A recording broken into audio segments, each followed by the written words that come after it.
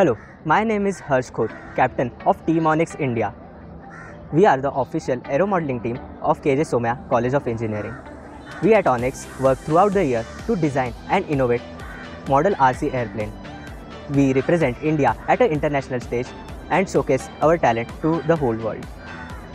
To make the most efficient RC aircraft possible, we require funding.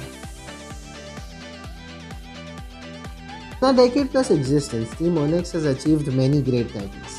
To name a few, in the year 2018, we took part in the SAE India Southern Section Aero Design Challenge, where we placed first in the Best Technical Presentation and third in the Best Design Report category, with an overall rank of 14 in the micro class and 9th in the regular class. In the year after that, we participated in the SAE Aero Design East Challenge held in Texas after a successful venture in SAE India.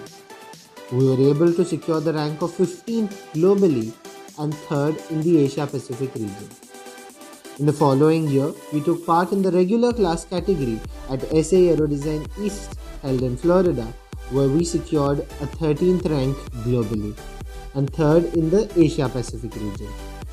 Last year, the team made history by taking part in the advanced class of SAE Aero Design East held in the United States of America and getting a rank of 6th globally, 4th in the design report, and 11th in the technical presentation.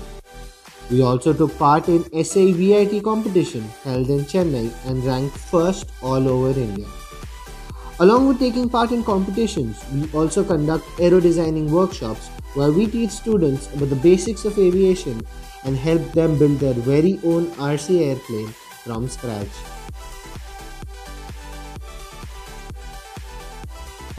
So the process of designing a plane starts with a CAD model which is designed in the SolidWorks. After that, we do the simulation of the plane in the software ANSYS where we do the CFD analysis of the entire plane. Then the process of manufacturing starts. For this manufacturing, we require expensive components like the carbon fiber rod, the electric motor, the propeller, the battery, so that our plane can compete at the highest level in the international.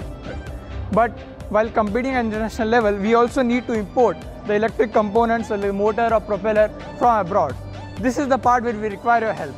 So, so that our plane can compete at the highest level in the international competition and take our India's name at the highest point. This year, we are planning on taking on the advanced class of SAE Aero Design East for the second time, with more experience and hoping to better our rank compared to last year.